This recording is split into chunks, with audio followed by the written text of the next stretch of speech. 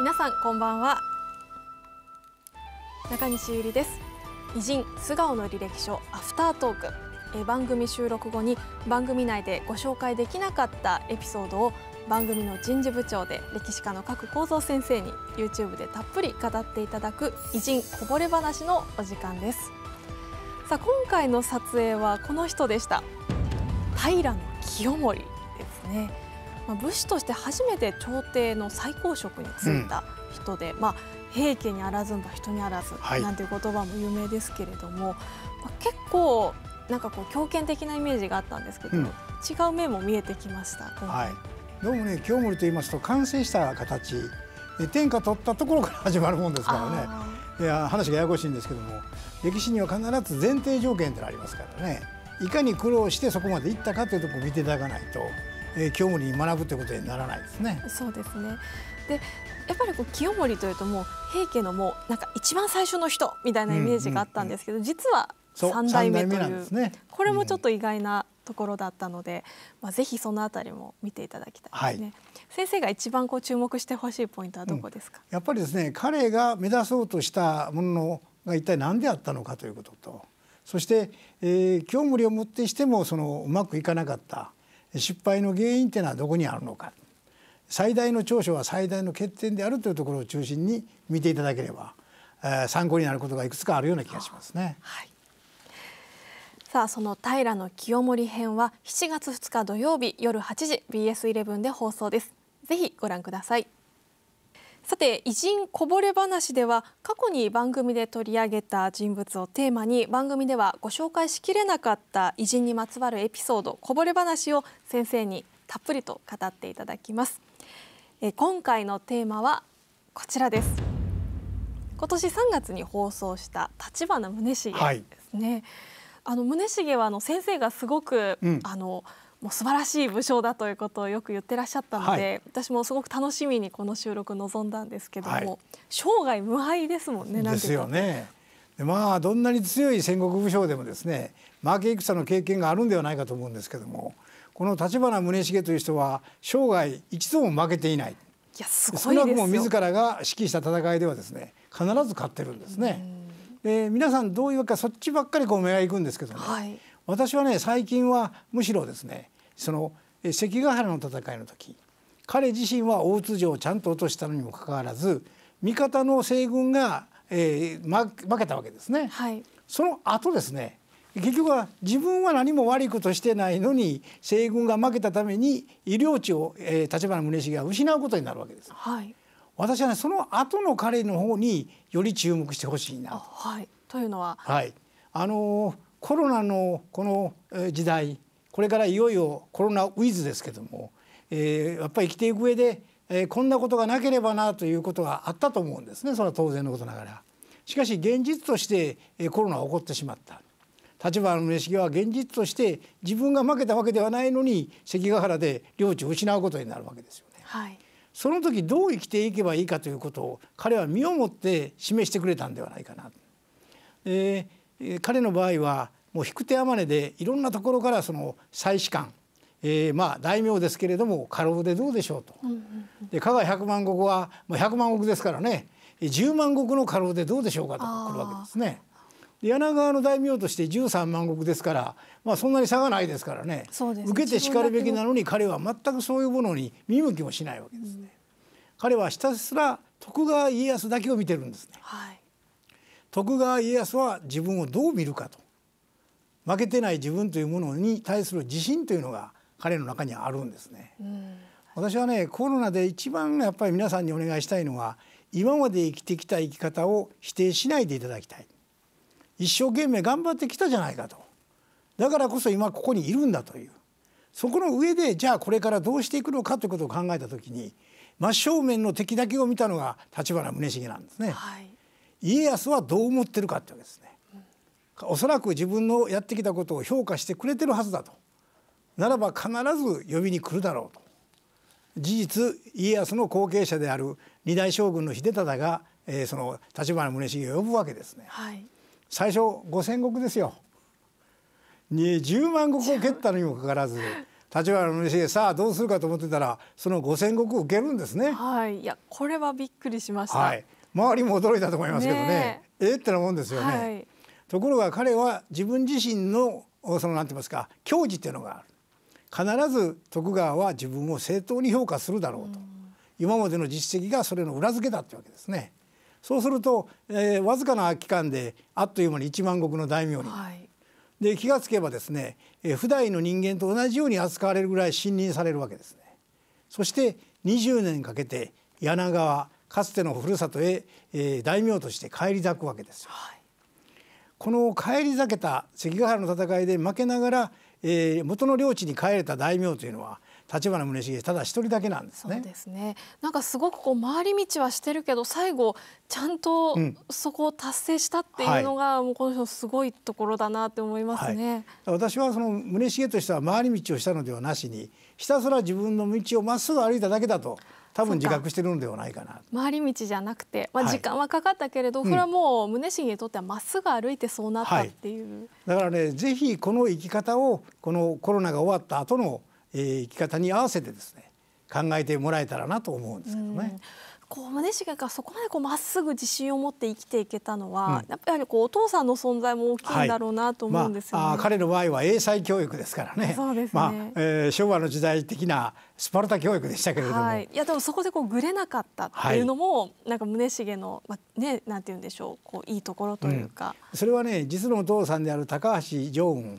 あるいは養父になる別記同説。この二人に対する尊敬の念というのが非常に強かったからだと思いますね。ねでだからこそ我慢ができたんだろうし逆にああいう人になりたいという目標がそこに目の前にいるわけですからねですね。それがやっぱり立花宗茂という人物を作ったと思いますね。うんあの印象的だったのがあの、うん。山を歩いていて、はい。あの栗を踏んづけちゃった話。そうなんですね。あれすごい もうなんかもう読んでいるだけで痛っと思うんですけど 足にね栗をこうグリグリはいはいはい、やられたっていう、で抜いてくれというふうに足を差し出したのにもかかわらずついてきた家臣は グイってやるわけですよね。いやいやもうどどんなんやねんと思ったんですけど、あのねあれ栗の話もありますけどね。あの、えー、タケノコの話もあるんですよ同じ発想なんですよ。あータケノコを踏んでしまってその頂のところで突き刺さりますよね。痛い痛いという。だぐさってやられたというね。本当なんですかね、それああでもそれに近いことはあったような気がしますね。そうですねでも本当になんかそこでこうなんか反発したりとかもうぐれたりとかせずにちゃんとお父さんのことを尊敬してた二人のお父さんを尊敬していたからこそなんかまっすぐ育ったんでしょうね。うん、と同時にやはりリーダーというのは一番苦労する人なんですね。うんそのことを彼は幼少期から叩き込まれてるだからどんな選曲どんなその難しい、えー場面になってもですね、えー自らがその嘆くことがないわけですね。なんとかなるだろうと今までやってきたじゃないかという自負それと彼の場合はちゃちゃんとしたその準備をしてるわけですね。はいえー無鉄砲に突撃していくんではなしに最善の方法を考え事前の策を用意しそれでもダメな時はどうするかまで準備した上であの万全を期してえー戦ってますよね。だから負けるということはないわけですね。ですねでもそれにしてもこうあれだけね優秀な武将たくさんよ全国にいた中でも無敗っていうのはもう宗茂だけですよね。あの九州というそれもですね強い人が揃っているような合戦のまあ本場と言っていい、えーところでその、えー頭角を表していくわけですからああ大したもんだと思いますね。そうですよね。なんか私たちもその宗茂の持っている強さの理由を考えていくと、んなんかちょっと真似できるところもあるのかなってあ思います、のね、もし今このコロナ禍の中で彼が、えー現代にいたらどういうふうに考えるかなとそれをねちょっと想像してみるだけでもですねいろいろ得られることっていうのはあると思いますね。はいさて偉人こぼれ話では視聴者の皆様から各先生に寄せられた疑問質問に先生にズバリ答えていただきます、え題して教えて各先生のお時間です。え早速ですが番組サイトにいただいた質問をご紹介します。え神奈川県にお住まいのペンネームしんちゃんさんからいただきました。ありがとうございます。え斉藤道さんは天下が取れなかったのかという質問ですけれども、はいい、かがですか？えあの最近の研究で斉藤道さんがですね、えーそのえー下克上したというのは実は2代にわたった実績であったと。でかつては七度名前を変えてですね一階の油売りからですね、えー、一国一城の主になったとこう強調されたんですけれども最近は、まあ、番組でもやりましたけれども、えー、2代にわたって、えー、その斎藤道さんというのは、えー、下克上を成功させた、守護代から守護になったというのは彼の役割なわけですね。もちろん、えー、防災っていうのは非常に優れたものがあるなおかつその合戦を指しても強かったわけですね。あの織田信長が尊敬した人物ですからね。えー、しかし残念ながら、えー、じゃあ斎藤道さんが頑張ったからといって天下が取れたかと考えますとねやはり時代背景的に信長が登場してわずかな期間に天下統一に、えー、チャンネルが変わるわけですね。はい、えー、秀吉が出てきてその後徳川家康が出てきますね。これはなぜかというと鉄砲というものの価値っていうのはすごく大きいわけですね。で道三の晩年に鉄砲は出てくるんですけれどもまだその世代的には一世代後の信長がそれを、えー、広く活用することによって天下を父母を成し遂げるわけですね。はい、ちょっとね、えー、道三さん残念なことにあの出てくる時期が早かったなと。一世代早かったという気はしますね。そうですか。じゃあもう少しこう、まあ、道さんのポテンシャルを持って、うん。もうちょっと後に生まれてたらわからなかったって感じですかね。はい、でその証拠がですね私はあの、えー、道さんの息子であるあの義達だと思いますね。でどういうわけか織田信長ファンから見ますと美濃の斎藤義達というのは低く見られがちなんですけれどね私どもに言わせればね大した武将だと思いますね。そうですかなぜならば信長をもってしてもですねこの義達が生きてる時代っていうのはついに美濃を併合することができなかったんですよ。逆もまた真なりであの義達の横にですね信長がいなかったら義達はもっと早くに、えー、信長的な役割を果たせたかもしれないなと。えー、上杉謙信における武田信玄みたいなもんですね。これはまあ両方とも不幸としか言いようがないですね。そうですか。まあ、だから道さんっていうまあ一人の力ではなく、まあ、その息子とのそのまあ二代にわたる存在感っていうものを考えると、はい、まあ、でもそこにこう信長がいてってなる、はい、もうそこのこう、ね、3人の関係性っていうのがあるから、はい、あると思いますね。それともう一つは美濃が逆に、えー、尾張を併合したならば可能かもしれませんが、えー、財力がないと鉄砲を揃えることはできないわけですね。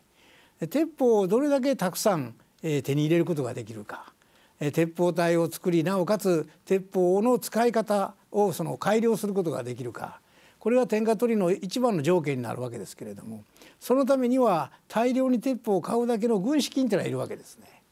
えー、尾張の場合は伊勢湾貿易というまあ、利点がありました。それに相当するものをさあ道産の美濃は持てたかということを考えますと、えー、そこはちょっとまだ難点になりますね。地のりを考えると、はい、どうかなっていうところが、うん、ですからねこういう質問を考えられる方っていうのは非常にありがたいのは考えることによって見えなかった世界が見えてくるわけです。あ確かにそうですね、はい、あのどんどんこういう疑問を持たれてご自身なりの仮説を立てていく。それがやっぱ重要ではないかな。そうすると天下取りには何が重要なのかどうすれば天下が取れるのかということが徐々に分かってくるわけですね。はい、実にいい質問だと思いますね。ありがとうございました。さあ各先生への質問は BS11 の番組ホームページから投稿していただけます。皆様からのご質問お待ちしております。さあそして偉人素顔の履歴書は毎週土曜日夜8時全国無料放送の BS11 で放送中です。